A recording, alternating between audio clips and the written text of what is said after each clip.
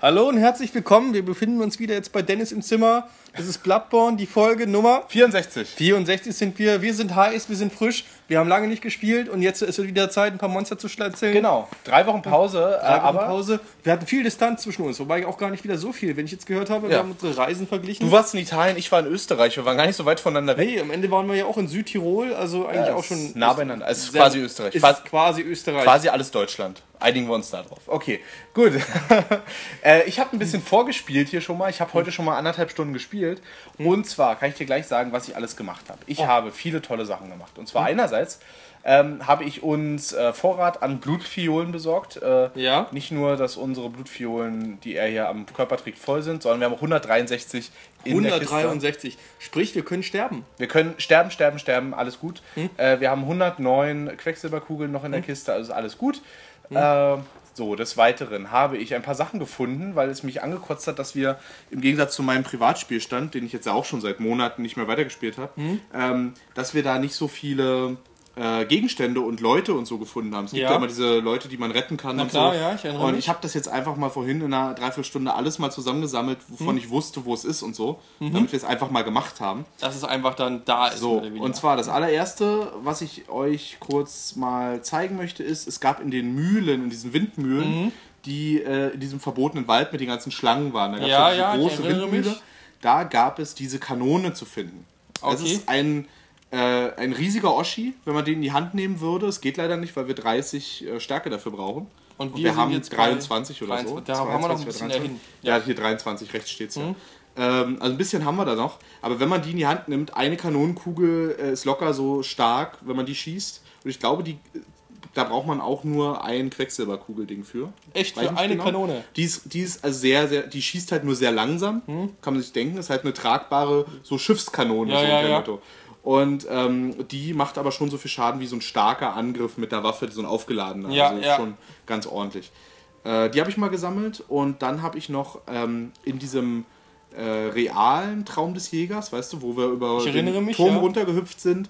Äh, ich gestikuliere gerade, das bringt natürlich nichts. Ähm, Aber ich sehe es doch. sehr schön. Da sind wir runtergehüpft und sind hier in den realen, verfallene Werkstatt hier gekommen. Ja. Und äh, da haben wir einfach komplett übersehen, dass hier in dem Schrank äh, hier drin lag noch ein Gegenstand, so ein golden leuchtender. Den haben wir einfach komplett übersehen die ganze Zeit. Wir Muss doch haben, verpeilt gewesen sein. wir haben die Puppe hier in der Ecke gefunden und wir haben die die wir Nabelschnur, die hier lag, also ein Drittel einer Nabelschnur. Ja, und da hinten ist auch noch irgendwas, oder? Nee, das war hier ist nur so ein Hinweis. drauf, Ja. es ist hier so ein bla bla bla. Ja, hier, geh, geh in die Welt hinaus und töte Bestien. Aber was war denn nun im Schrank drin? Und der Gegenstand, das kann ich dir gleich äh, zeigen, das ist nämlich ein Kopfschmuck und der gehört der Puppe und den geben wir ihr jetzt. Hallo Süße. Hier, kleinen Haarschmuck überreichen, den überreiche ich immer. What's that? What? Oh. What is this? I. I can't remember. Not a thing, only I feel. A yearning, something I never felt before. What's happening to me? Tell me, Hunter. So fühlt sich das an, wenn man geil ist. Ach, Ähm, wir haben einen Tränen, das ist ein Freudentränenstein, den wir bekommen haben. Oder Tränenstein. Ich weiß nicht, was der macht. Ich weiß nur, dass man ihr das Ding geben kann und dann ist, kriegt man irgendwas. So, und zwar, der Tränenstein bringt zur Verwandlung einen Tropfen Blutedelstein, der jede Waffe verstärkt. Eine Puppe vergießt weder Blut noch Tränen und so bleibt seine wahre Natur unbekannt. Wer auch immer glaubt, dass er wertvoll ist, könnte nur von ernster Navi Naivität befallen sein. Okay, also den können wir dann irgendwie umwandeln und irgendwas für aufpimpen. unsere Waffe oder so. Wusste ich Das jetzt. ist aber ein einmaliger Gegenstand, vermute ich jetzt. ja, ja, ich denke auch. So, und dann, äh, das waren jetzt alles, was wir hier, glaube ich, machen Ja. können. Nein, stimmt ja überhaupt nicht. Also so viel Zeit muss sein. Äh, wir gehen jetzt noch mal einmal kurz zu den Badbooten hier oben, die, denen man lustige Hüte aufsetzen kann. Ja. Also, Daniel, so viel Zeit muss doch wirklich sein. Und die haben jetzt sehr lustige Hüte. Naja, müssen wir mal gucken. Ich habe, also die hatten jetzt Zylinder? den Zylinder vorher auf. Und jetzt können wir ihnen noch den schwarzen Boten, warte mal, der Botenzylinder, schwarz, ich glaube der sch- schwarze ist das der neue. Ich habe einen noch gefunden. Ah, guck mal, die haben jetzt noch so Ah. irgendwie Umhänge dazu. Die sehen jetzt ein bisschen aus wie so ein Jäger, so ein Ja, ja, ich schon. Gascogne oder so. so. Der linke sieht jetzt auch sehr hübsch aus mit seinem Mund. Ja, gut, der linke, der hat ja schon immer so einen Vaginamund. Entschuldigung, aber Ja. es ist ziemlich äh, offensichtlich. offensichtlich. Was soll ich machen? Man darf doch keinen liegen lassen. Also kein Witz, meine ich. So. Ähm, genau, das war alles, was wir hier machen konnten, Ja. ich, was jetzt neu war. Und dann habe ich noch äh, im Kathedralenbezirk was für euch. Weil da ja die Odeon-Kapelle ist, wie wir wissen, diese Kathedrale, wo wir die Leute hinschicken können. Äh, nachdem Josefkas Klinik ja so ein bisschen ausgefallen ist als sicherer Unterschlupf, weil die Dame ja Experimente gemacht hat. Tentakel-Experimente. Ja. Ähm, genau, deswegen haben wir ja dann äh, nur noch die Odeon-Kapelle im Endeffekt, wo wir Leute hinschicken können. Und das habe ich dann jetzt auch mal gemacht, bin die ganzen Wege nochmal abgelaufen, habe die Und hast Leute du nochmal alle Leute da hingeschickt? hab nochmal alle angequatscht. Äh, wir hatten nur die ähm, Priesterin da bisher hingeschickt, diese junge Nonne, die wir Ja, im, im Keller, die meinte, sie braucht jemanden von der Kirche, der ihr, dem sie vertraut. Und da haben wir kann. die Kirchenklamotten angezogen Natürlich. gehabt und dann. haben wir sie halt voll verarscht, weil Mhm. wir Kirchenklamotten angezogen haben. Ja, ja, junges Fräulein, wir sind natürlich von der Heiligen Kirche. Da sitzt So. doch die. Nee, Nee, hier sitzt jetzt die Dirne, äh, Adriane oder so heißt sie. Die war in einem Haus in diesem, ähm, wenn du da diesen Turm runterspringst, dann kommst du ja in so einen Hinterstraßenbezirk irgendwie in Altjanam, also in diesen mit so Gassen und nebelig und so. Da waren wir nur einmal, da bist du dann durchgerannt, weil wir nichts mehr hatten an Blutfiolen und es ist schon ewig her. Und in dem Bezirk mussten wir nochmal zurück, da waren wir nicht einmal seitdem. Ach Gott. Und da waren zwei Leute, die man abholen konnte. Die habe ich jetzt beide. Ach, guck mal.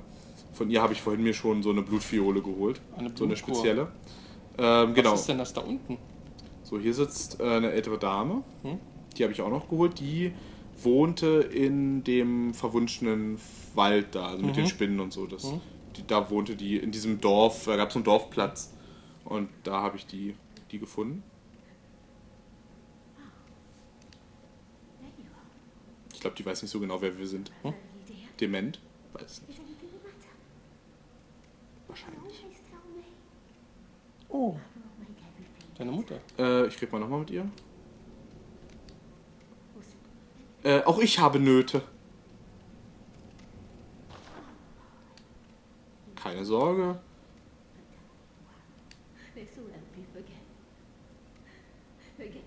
Gibt uns jetzt Drogen? Da bin ich voll dafür.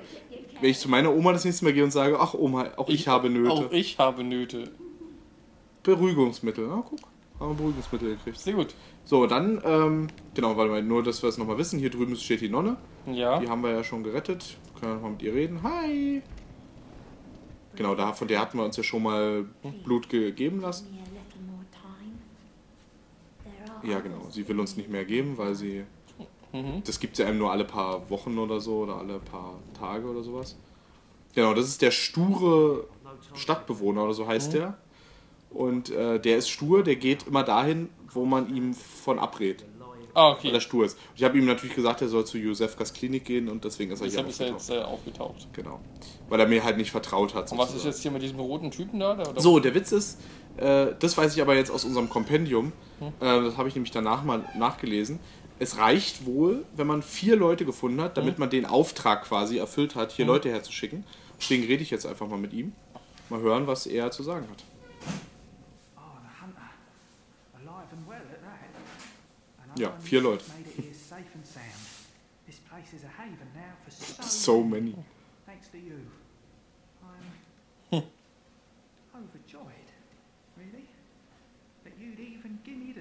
Day. I don't suppose there's Ja, anybody wir sind fertig. worth saving anymore. But you did all you could. And so many owe you so much. Amazing. Er liebt uns für das, was wir sind. Ein Wir Mensch. lieben ihn auch dafür, für das, was er ist. Aber was ist er? ich wüsste es. Womit wir da neu anfangen? Aufstehen. Der hat doch gar keine Beine.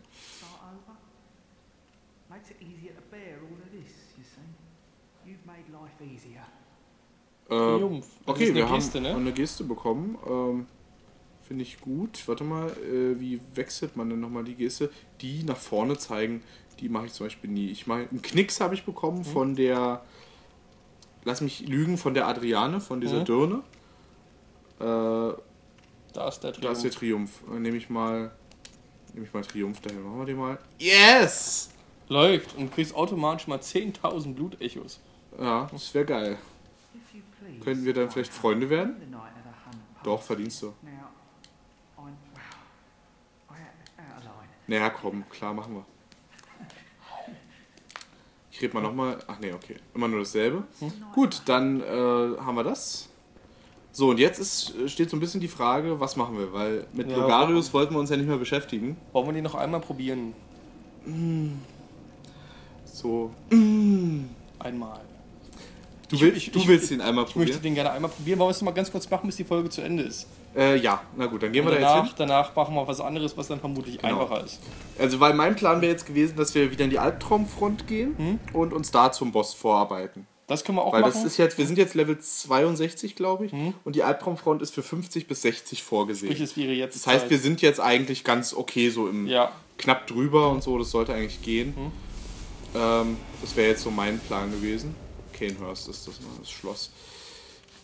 Genau, aber wir können gerne Logario nochmal probieren. es Und tut mir leid. ist völlig in Ordnung. Also ich meine, die Leute wollen das ja auch sehen, wie wir nach sechs Folgen, an dem, dem wir an ihm gescheitert sind, weiterhin an ihm scheitern.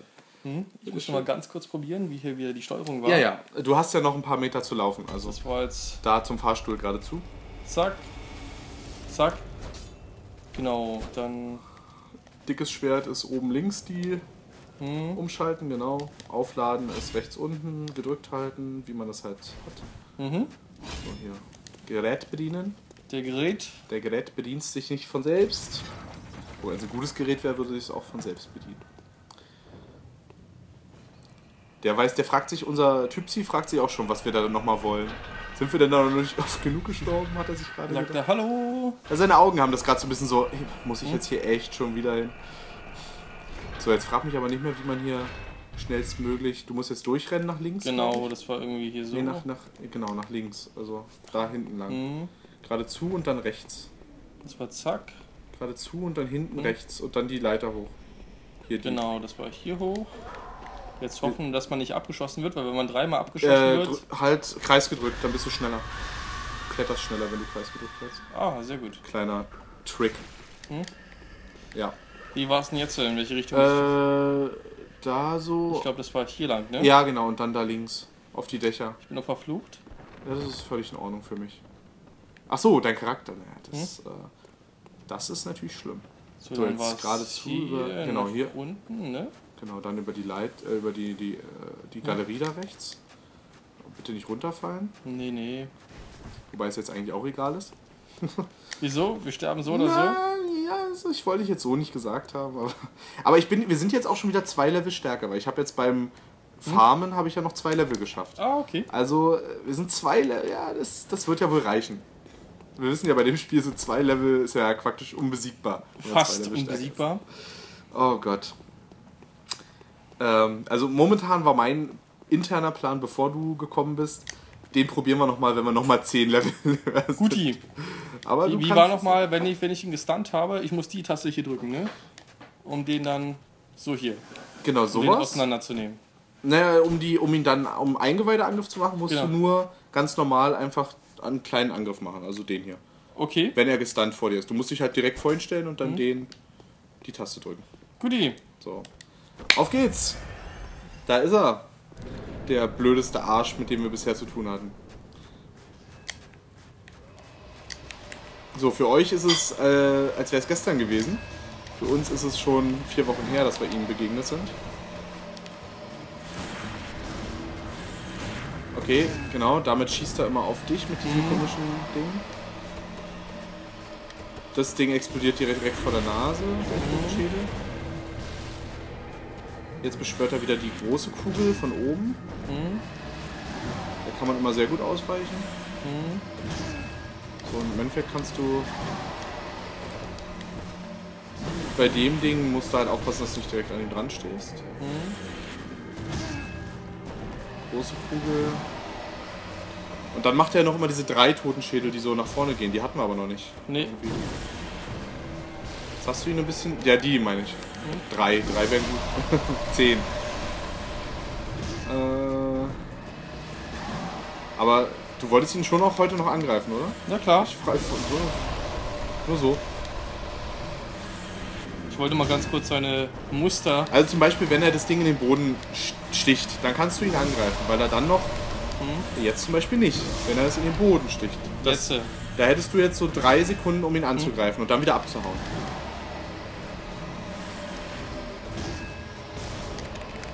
Ja, Upsala.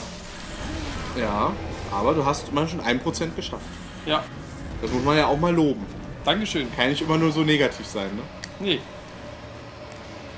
Bei ihm war da Molotovs effektiv, ich weiß es nicht mehr. Ich glaube es ehrlich gesagt nicht. bleibt Vier- er jetzt da hinten in der Ecke stehen. Weiß ich nicht, ja, ist doch gut für dich. Dann weißt du immer, wo er ist. Äh, Molotovs sind übrigens auf Viereck, falls du mal probieren willst. Ist nur so. Du musst Ja. näher rangehen Ups. Und dich nicht von den glühenden Kugeln treffen lassen. Von denen da, genau die. Mhm.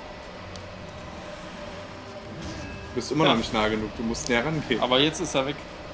Naja, aber nur drei Schritte. Und weg. Und weg.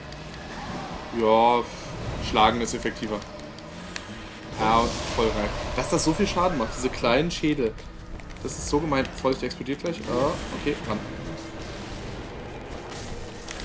Okay, weg, weg, weg. Nicht gierig werden. Aber das war gut, das äh, darfst du gerne noch drei, vier Mal machen, dann hast du ihn.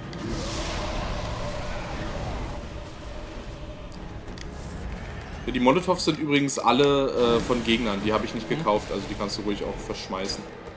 Stört mich nicht. Ups, jetzt ist es Zeit wegzugehen. Ja, so langsam. Jetzt wird er gerade wieder ein bisschen nerviger. Ich glaube bei drei Viertel oder 70 Prozent oder so hat er dann die nächste Stufe gemacht. Es ist halt Boah. total nervig, dass er da hinten in der Ecke ist. Ja. Ja, er kommt bestimmt raus, sobald er die nächste Stufe erreicht. Also Ja. musst noch zwei, dreimal auf ihn draufhauen. Na guck mal, jetzt kommt er dir schon ein bisschen entgegen. Jetzt nicht spielerisch, aber äh, Der mag immer noch nicht so sehr, ne? nee, so richtig will er nicht raus. Oh, das ist aber gemein, durchs Dach durch. So haben wir aber nicht gewettet. Wir haben gar nicht gewettet, aber. Haha, unterbrochen, Trottel.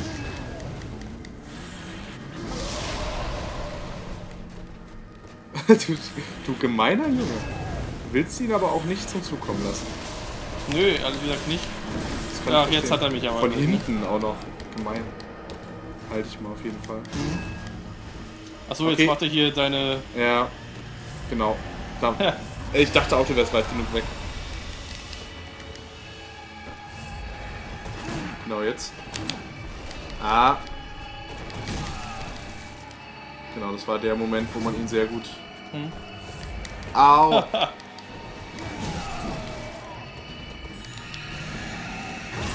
ah, das ist wieder so Schwertsturm.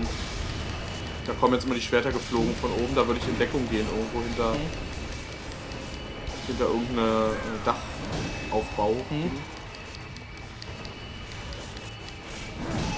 Kommen auch ein paar geflogen, ne? Na, die, ich glaube, die gehen relativ lange weiter. Ich weiß nicht, ob die überhaupt aufhören. Bis du ihn wieder schlägst. Du musst halt aggressiv rangehen, sonst mit nur ausweichen wird dieser Kampf nicht gewonnen. Ja. Boah, der hat sogar ein Schutzschild, der Schwein. Ja, sehr schön. Schieß. Warte, warte. Ah, mach irgendwas. Ich weiß nicht, ob man das Ding angreifen kann, ne? Wahrscheinlich, ne? Naja, dann gehen die Schwerter halt auch weg. Und weg.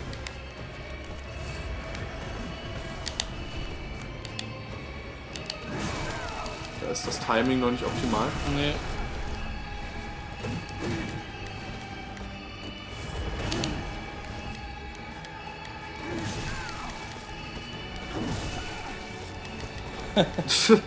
ich glaube, er will dich nicht gewinnen lassen, auf jeden Fall. Nee, das glaube ich auch nicht. Na, kommen wieder die Schwerter an. Ja, gut. Soll halt nicht sein. Ne? Nee. Ja, da wäre es gewesen und drauf. Na, immerhin einmal noch den Eingeweideangriff. Ja, wenn man den ein paar Mal macht, dann ist er halt fast durch, ne? Hättest du halt öfter schaffen müssen. Das war's. Das war das, aber immerhin ungefähr bis zur Hälfte. Soweit waren wir schon ein paar Mal. bist du, bist du äh, meiner Meinung, dass wir erstmal was anderes probieren Wir wollen? probieren jetzt mal was anderes aus und Okay. dann schauen wir mal weiter. Aber hast schon gemerkt, wie es gleich viel besser lief durch die zwei Level? Ja, eindeutig. Unbedingt. Gut, Leute, bis zum nächsten Mal. Tschüss.